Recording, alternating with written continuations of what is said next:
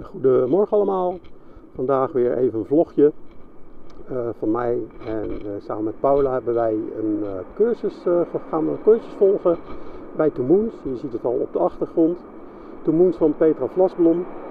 En het is een driedaagse cursus. Een driedaagse cursus waarin, um, hoe heet het ook weer? ik weet het nog steeds niet. De intuïtieve, ja ik heb het gevonden, de intuïtieve ontwikkeling centraal staat.